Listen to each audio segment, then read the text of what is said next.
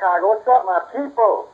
Man, uh, call and call the radio sometime. It's uh, it's it's going on. Anyway, uh, uh, hanging out in the bars, uh, right in the back in the same neighborhood I grew up in. Uh, man, it was just unbelievable. And we swept the Astros, but every game was won by one run, I believe. Is Greg around, uh, Kathy? No, he, he no, he got a new job, so he's working. Oh, he's at work today. Oh well, okay, good. Uh, Yeah. anyway, uh, you know he's a huge okay. White Sox fan. Yeah, he's a huge White Sox fan. So, uh, you know, I'm sure he remembers every detail of those games. I mean, they were really intense. Uh, one one game went 14 innings, I think. Yeah, anyway, uh, so uh, go ahead.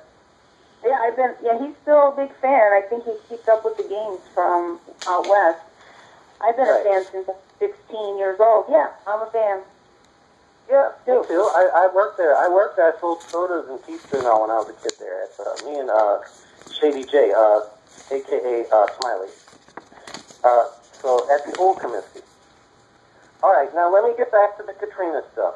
Eventually, I had to go back down and figure out what I was going to do with the house. They they opened the streets. They let us back into our homes. And when I got here, it was just, you know, completely destroyed. I couldn't even open the front door because the refrigerator had moved from the kitchen and was blocking the front door. Uh, uh, the couches, everything was pushed to the front door because when the water receded, it just pulled everything towards the front door. So you literally couldn't get in. Uh, and it was super muddy, so we busted out all the windows just for aggression's sake and just to let it air out too, so the mud would all dry. But anyway, once I got started working on it, I needed help moving this refrigerator. And I'll never forget this Mexican dude. I needed some help. He was walking by, and I'm like, come on, you know, I'll give you some money. We got to lift up this fridge.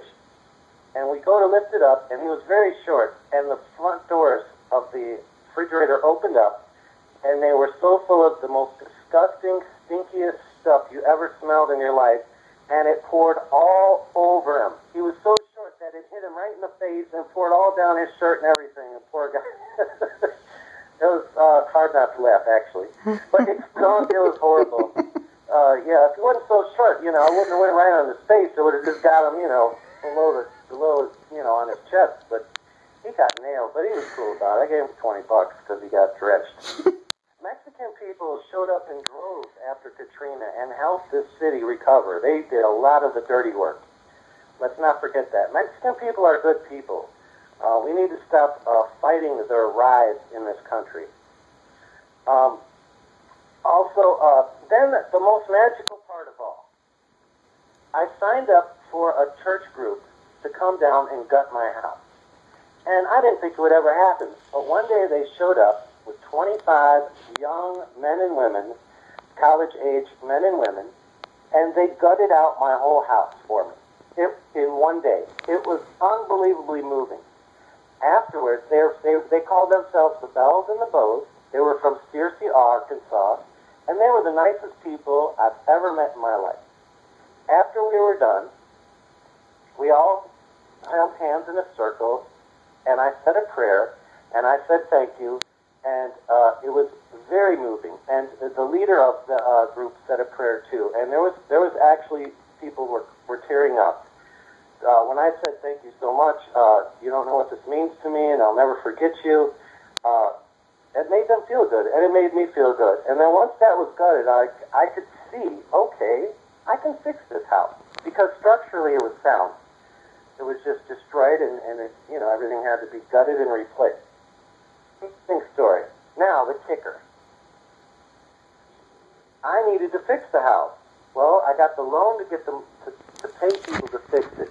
Now I could have hired some contractor from some jerk off who I didn't know who from Texas or Florida or something who come in here and they were ripping people off actually. Uh, not all of them. There was plenty of good ones. Some of them were ripping people off, getting the money and disappearing. I wanted to hire my friends. I had a lot of money. I could pay them. It was winter in Chicago. Well, when business for them is slow, they do construction. And they came down here, and six in six weeks, fixed my entire house, and I'll never forget it. Um, they we lived in my upstairs apartment on a gen, uh, no, I had uh, lines running. I finally got my FEMA trailer, we had electric lines running to the apartment, and we were all cramped in two rooms. It was me, Pete, my good friend Johnny,